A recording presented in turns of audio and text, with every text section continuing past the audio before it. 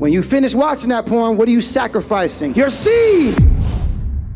If we can't catch this in the spirit, we'll never be used by God. So let's talk about what happens when you watch the porn. Take the phone out, right? Go to the bathroom, try to hide. What's that now? That's your secret place. Because you don't do that in public, right? You seek the demons in private. So you got to go to the secret place. Now you've created an altar onto that demon. You have spirits, incubus, succubus, Jezzy, right? And I'm not talking about Jezzy Christ and Creole. I'm talking about Jezebel.